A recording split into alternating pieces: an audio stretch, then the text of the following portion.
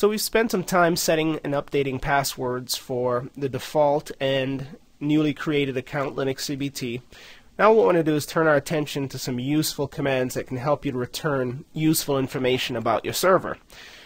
This category of commands are referred to as show commands. Show commands show information similar to the way routers from Cisco systems show useful information about connection, status information, and the like. So there are many show commands, many categories of show commands. We'll begin with some basic show commands, but first let's document the area that we're discussing.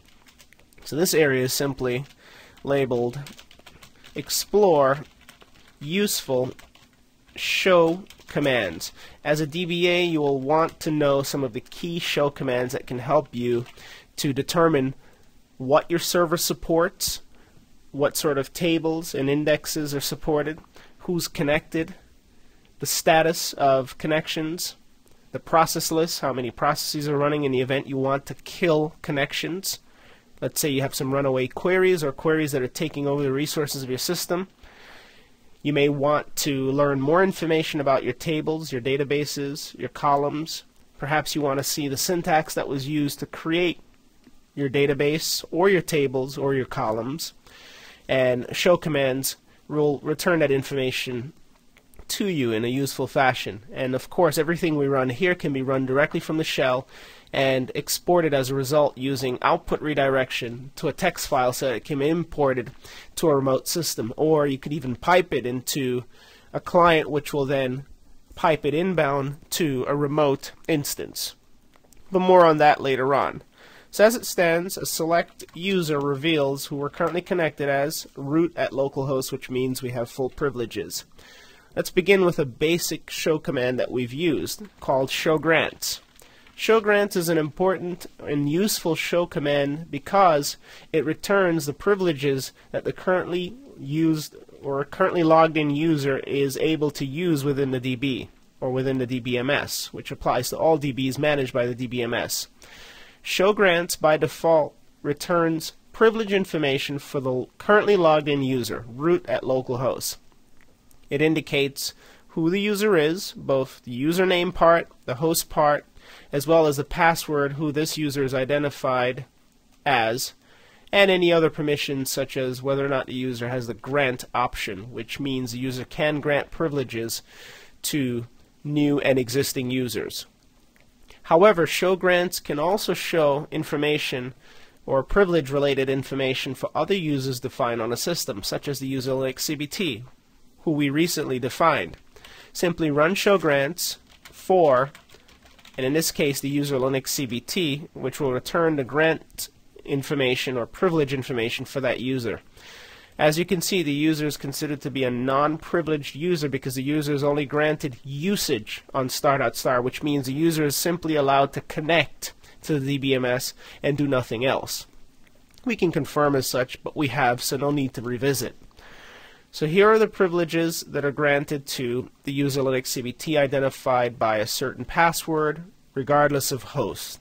Only key information here includes the, the username, Linux CBT, as well as the password. Host is relevant in this case because there's a wildcard in operation. And just in case you didn't know, MySQL currently does not support wildcards in the username field. And again, that field comes from, we'll get user host password from mysql.seq, user that is, mysql or mysql.user. Let's select that. We didn't specify from. So the user field is stored in the mysql.user table, the host field and the password fields ditto. Super. So show grants is useful. Let's focus on some show commands that are related to the database itself, and then the table, which is one level beneath, and then columns, which is yet another level beneath in the hierarchy. If we execute a show databases, as you know, it lists the databases that are currently configured on the system that the currently logged in user has permissions to see. Since we are a super user on this system, we should, should be able to see all the databases that are configured. Here they are. Show databases dumps all of the databases.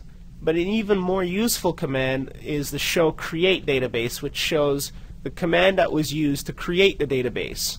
Let's say you're interested in creating a new database which is similar to any of the databases defined. Now, the database creation command in SQL is very simple, and it isn't specific by any means to MySQL. It's just a SQL standard statement which applies primarily across the board.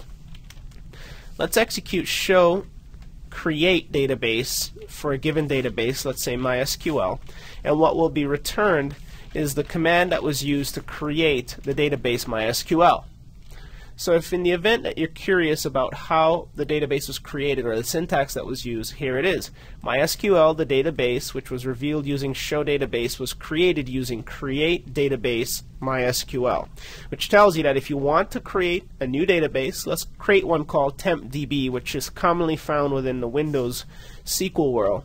If we want to create a database, we could simply go ahead and execute create database, which is case insensitive, but it helps for clarity or for readability to use uppercase when using keywords, followed by the name of the database. In this case, we'll call it tempdb, followed by a semicolon. As simple as that, we now have a new database entry in the database table, the DBs table.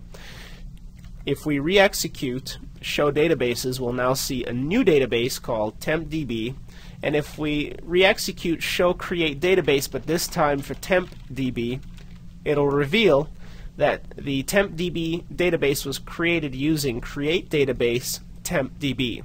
Backticks are used to indicate that this is the exact name of the database, tempdb. And its default character set is Latin 1.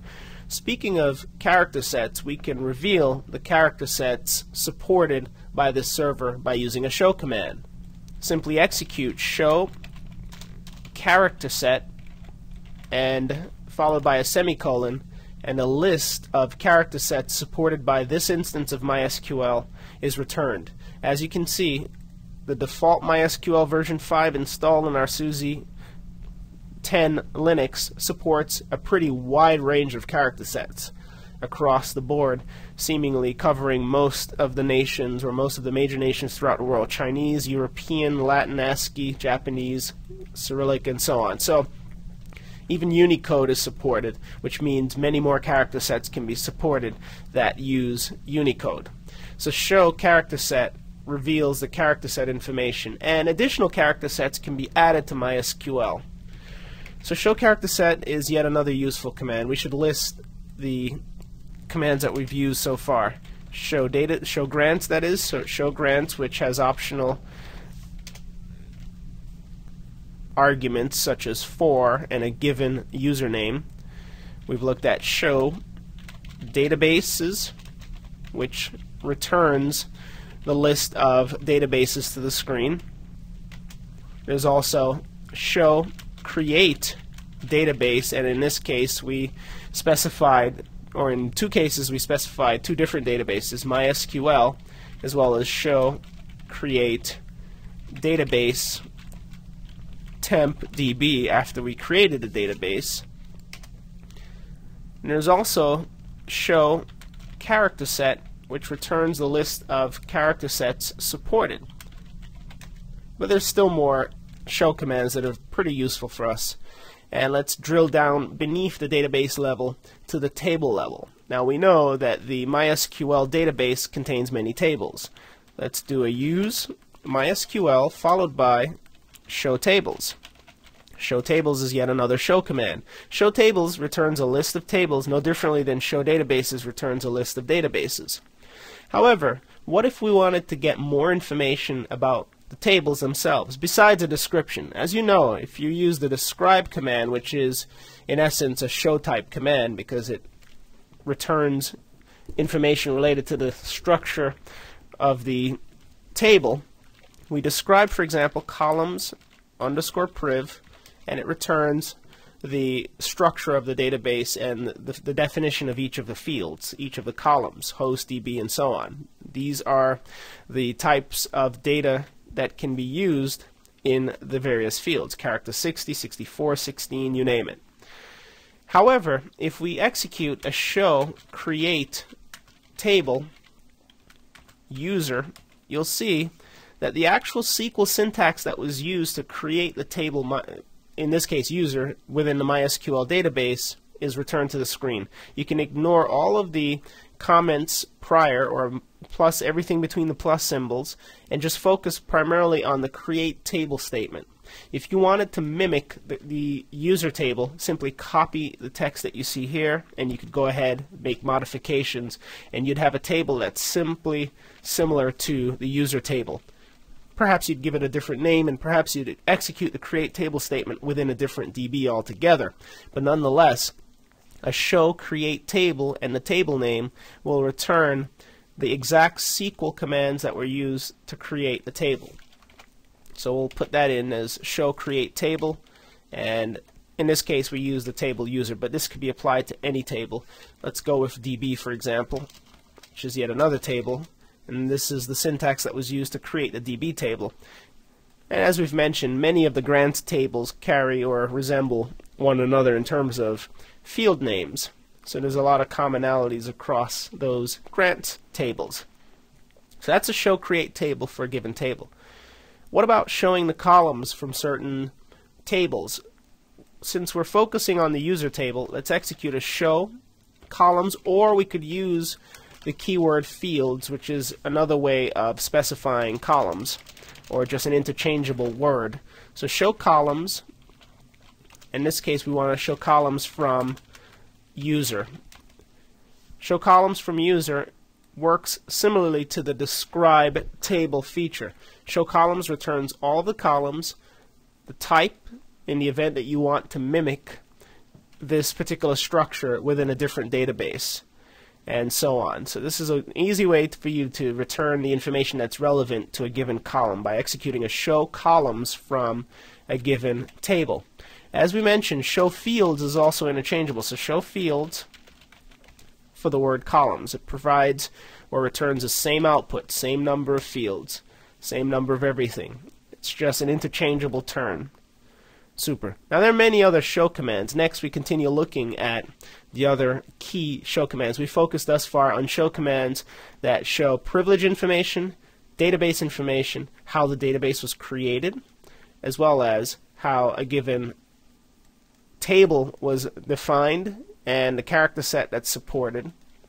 And we've also discussed the show columns slash field, so we'll include between brackets columns, pipe, fields so that you can use these interchangeably. And of course, this is all documented in the MySQL documentation from, and we'll simply say table. But In our case, our table was the MySQL.user table. So now we want to focus on other show commands that relate to the current operation of MySQL. So that's what we're going to do next. So let's continue exploring some useful show commands that any DBA of MySQL is responsible for knowing. So we focused on DBs, tables, columns, just some brief commands that will return information Probably the more important commands include the ones, the create commands, which return how a given database or table was created. They're very useful because you can use them to recreate tables as well as databases. Databases are very easy to create. Simply use the create database statement followed by the name of the database and providing the database name is unique, the database will be created for you. It's simply a container. But tables are more complex to create because you'll need to determine what type of data will be stored in the table, how it relates, if it relates to any other tables, and so on. Let's turn our attention to some show commands that, again, focus on the current operation of the MySQL DBMS. The first command that comes to mind is show engines. So let's just label this section MySQL operational show commands we want to look at show engines. Show engines is important because MySQL as a DBMS is able to talk to different types of tables using various storage engines. It's able to actually communicate simultaneously with different storage engine types, but there certainly is a default, the MyISAM, which we'll show you momentarily. In order to reveal the engines that are supported by the current build, simply execute show engines. Show engines returns the engines that are supported. The default engine as of what is considered to be the stable but pretty old version of MySQL, but you'll find it out in the wild, 3.23. The default engine is MyISAM for MyISAM type tables. It provides great performance, yada yada yada. This is the default table type.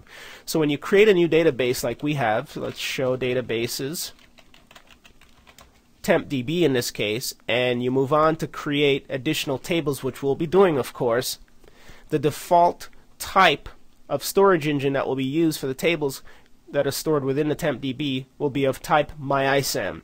And these particular files will reside on the file system in the varlib mysql directory. But all that information can be revealed, of course, using show commands.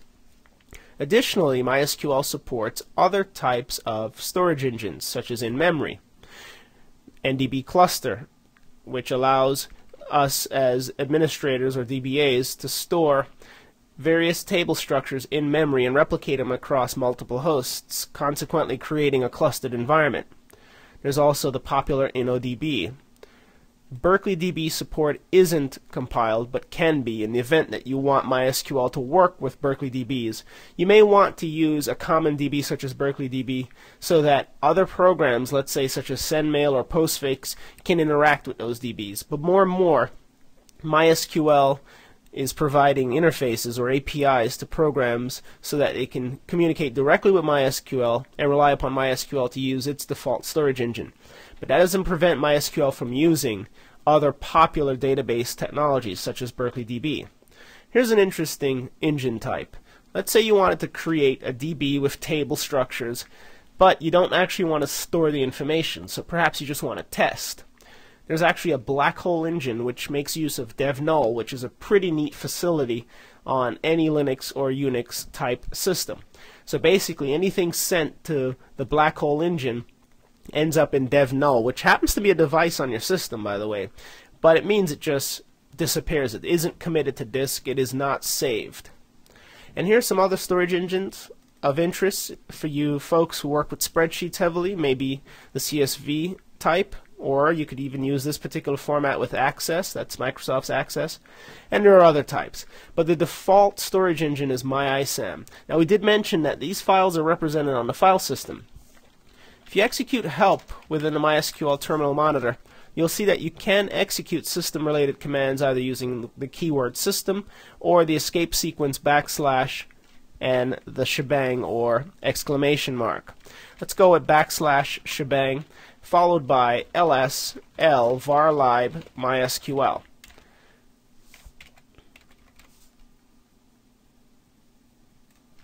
Let's go back and just include a space there. We missed a space right after the shebang. What this lists is the default location on the file system for MySQL, especially within Linux environments. But it also applies to Unix. When you install MySQL, it sets up its databases, which includes tables and columns, beneath var lib mysql. Each database is granted a different directory space. So for example, the default MySQL database has its own directory, and you know it's a directory because the very first column specifies a D instead of a dash, indicating that it's a directory. MySQL has its own directory, but you'll need to be either MySQL or root to enter it. And beneath that directory are all of the tables and indexes related to all the tables under management by the name of the database. So the name of the database is really represented by a directory container, and it's all logical because within the Linux file system space, a database container is really just a directory. And it, within a directory, you have all sorts of files and subdirectories. Similarly, for the database that we created, tempdb, there's a newly created directory. Notice that the privileges include MySQL for most of these errors here, with the exception of one of the files, the error file, which is owned by MySQL, but root is also allowed to interact with it, to read write to it. MySQL needs privileges to the varlib MySQL location for writing and reading to and from the different DB files, tables, indexes, and so on. In a separate shell, Let's SU in because we need elevated privileges, and we'll navigate once SU'd in to var lib mysql. Beneath MySQL again are the directories that pertain to the databases under management by this DBMS. Let's navigate into MySQL since TempDB doesn't have any defined tables, and you'll see that there are entries for all of the different tables. Let's LSL, for example, and since we've been working with the user table quite heavily, only user star. Here are all of the items that pertain to the user directory, and if to the user table that is beneath the MySQL directory. If we then execute a file against user star, you'll see that as best as possible, the file program attempts to return the type of file as it knows. What's important is that the form files are table definition files. So these are table definition files. They define the table and the definition of a table includes its structure.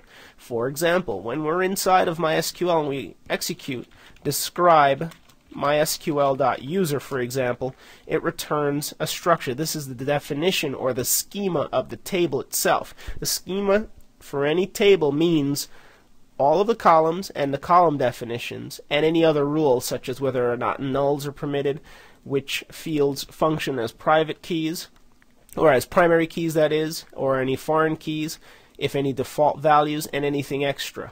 This information is stored again in the form or FRM file, the table definition file.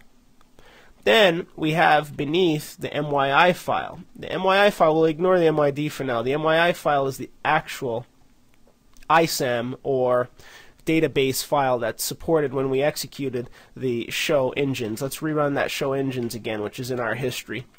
There it is. MyISAM is the default engine, and files that are stored, especially table files, that are stored with the .myi extension are the actual ISAM compressed table files. This is where the table data is stored. So any of the users that are defined, if we select user comma host comma password from mysql.user, and we're not in the shell here, so we'll just copy and paste this. When we select this information from the mysql.user table, it really is being queried from the user.myi file. Let's run this, and of course, after a semicolon, we get the users, and we didn't specify the from. Let's go ahead and put that elusive from in. These users reside actually on the file system in a file called user.myi. More about user.myd later on. Super. So show engines tells us the types of engines that are supported by the default build, and there are many engines, all of which are not compiled in. What else is important to our success as MySQL DBAs besides show engines? There's also a show process list. Let's take a look at show process list. Show process list, and we'll copy this into our notes file because it's important. There are many other show commands, by the way, but these are the important ones, especially when you're just learning MySQL.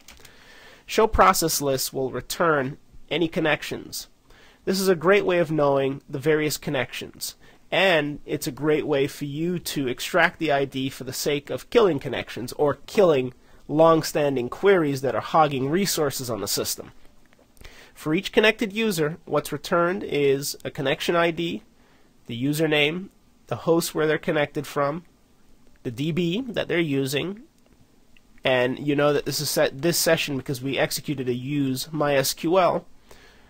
The command that they ran a query. We ran a query to return the process list. The amount of time that the query or whatever the command is took. In this, in this case, the query wasn't measurable or it was immeasurable and, at least based on the metrics being used, the state of the connection and any additional information. Well, we ran a show process list. Connection 20 is another connection. The kill command is specifically designed for us to kill connections that we think is making the performance of our MySQL DBMS degrade.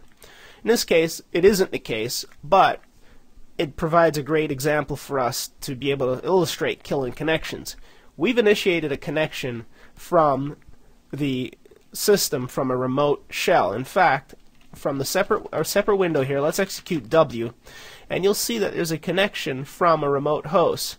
That remote host who has an SSH connection is logged in. This particular host is logged in to MySQL, occupying connection number 20.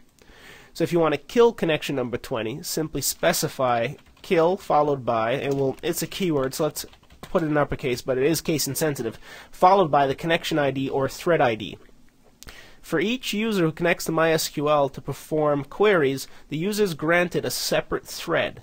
A thread is a process responsible for executing queries for the user within the MySQL context.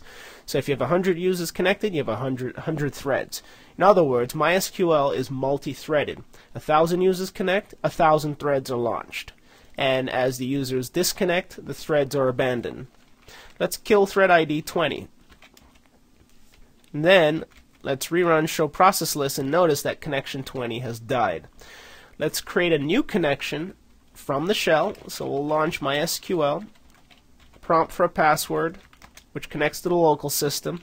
It's currently ABC123 and we'll execute a select current user which is has become our standard MO and as you can see we're connected as root at localhost and whenever you connect using the MySQL client the connection ID is revealed. We are now using connection ID 21 so from the original window if we rerun show process list you'll see that connection 21 now exists whereas the older connection was connection 20 if we execute select, let's say, star from mysql.user, it runs very quickly. So there may not be enough time for us to witness it in the other window, but we'll try. And let's run process list, and it's now sleeping. But let's say we had a database with a couple hundred gigabytes defined, and the user on connection ID number 20, for example, was overwhelming the resources of the system, or connection 21 in this case. We could simply kill 21, causing 21's process to be killed altogether. Or we could kill the query that's currently being executed by the user, but not necessarily the user's connection. Again, to kill a connection, simply kill, and again, it is case insensitive, so let's show you that. Kill 21 kills the connection. Over on the right side, our connection is actually dead. On the left side, we can rerun show process list.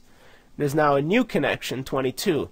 The reason why there's a new connection is because the MySQL client on the right side persists, so it sets up a new connection.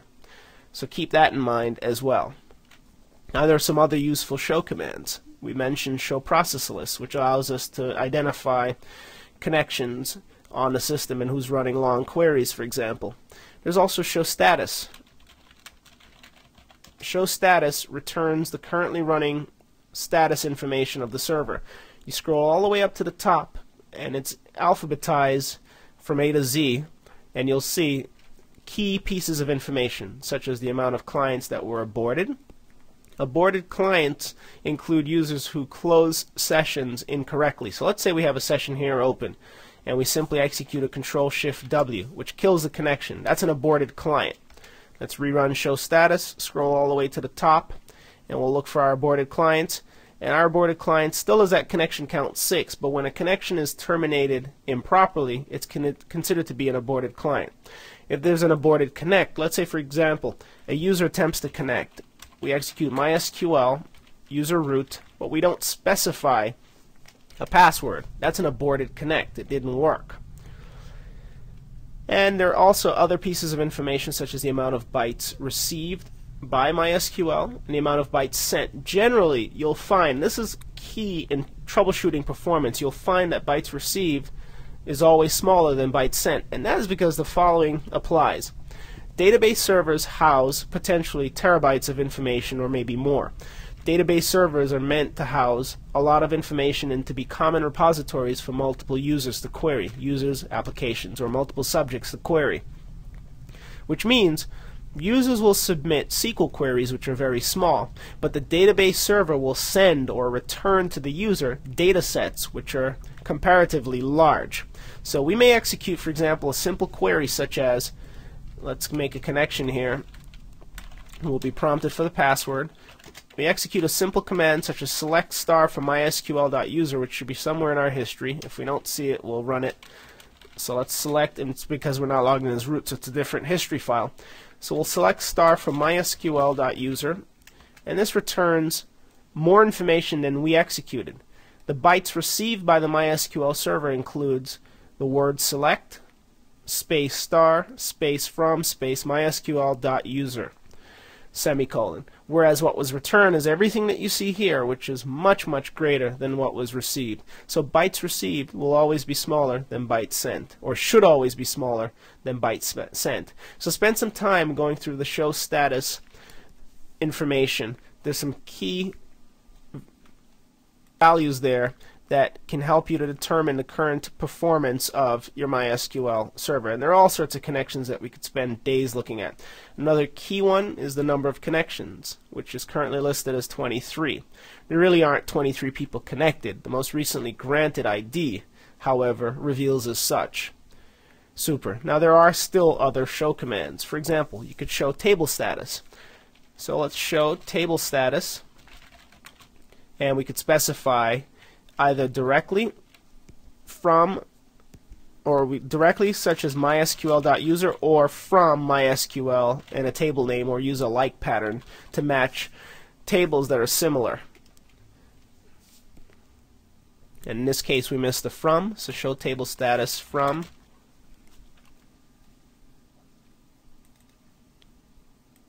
and that show table status doesn't actually require the user or the name of the table. It simply show table status from the name of the database. And what this returns is a lot of information, but probably more importantly includes the name of the table as well as a storage engine. So if you want to see, because different tables can use different storage engines, if you want to see the storage engines used or in use by your different tables, simply execute a show table status from a given DB and what's returned includes the table name as well as the engine and also the version since multiple versions could be in use and other information such as average row length as well as the data length maximum data length index length how much data is free if auto incrementing is configured create time update time so if you want to know when a given table was created when it was updated and so on so this is another key show command, show table status from a given database. Now, let's say for tempdb we execute this command, you'll see nothing exists because there are no tables. We've yet to define any tables, but we will soon enough once we get into defining tables, databases, and the like. Additional show commands exist. Let's just list our show tables here so that we have it in our documentation. Show table status from table name, or from DB name that is from db underscore name. There's also the ability to show triggers. MySQL 5.x supports triggers. So in the event that you want to see triggers that are defined, simply execute show triggers. Very important because you can have the database do work for you. So you'd execute a show triggers from db underscore name and optionally you can specify matching using like and in between single quotes specify a pattern. A pattern for example would be show me triggers like email percent. You may have a trigger which will send email upon execution of a certain or the changing of a value within a certain table, for example. Let's say a given column goes from 0 to 1. That may cause a trigger which sends email, as an example. Similarly, the show table status from DB name accepts like pattern. So we'll specify this as pattern. Pattern usually uses the wildcard percent so that you can match. So if you execute show table status as we did from MySQL and you execute like and in between single quotes a pattern such as my s percent there's only one table or user that is there's only one table and that table like user in, in this case will return so if you just want to see information for the user table rather than for all tables then you could return just the user table or perhaps just the DB table or you may have multiple tables with the prefix DB. But again, from it you'll get the name, the engine, and that's usually what I consider to be important. And optionally, you'll find out when the table was created, when it was last updated. It was created on the 7th, it was last updated on the 10th.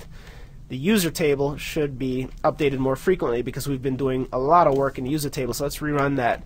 So the user table was created on the 7th, but last updated on the 11th, and so on. And you can always do a select now to see what today's date is, and it's the 11th. So we've last made changes to the user table on the 11th at 9:55, which was roughly almost an hour ago.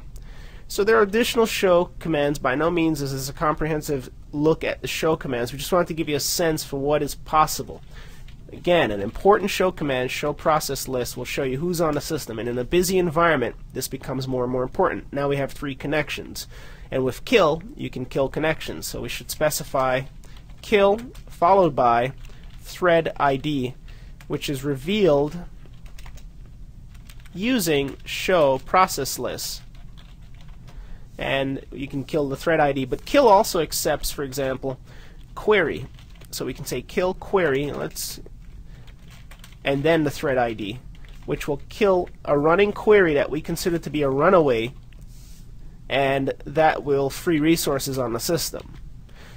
And kill is the standard way of freeing resources. What you'll find are multiple users. This is a, a classroom environment, but you'll find perhaps in a busy environment 50, 100 users connected to the same backend DBMS, but one or two users running queries taking perhaps a couple hours, overwhelming the resources of the system. However, if your MySQL DBMS is being used that frequently, perhaps it justifies the need for either clustering and or vertically increasing the size of your box.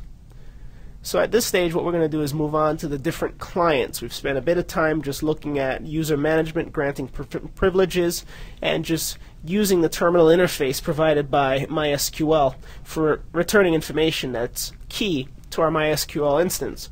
Next, we want to look at the key clients that are included, many of which return information that we've returned already using a lot of these show commands, but they're designed to be run from the shell in a batch type fashion. So next we move on to the various MySQL clients, including MySQL.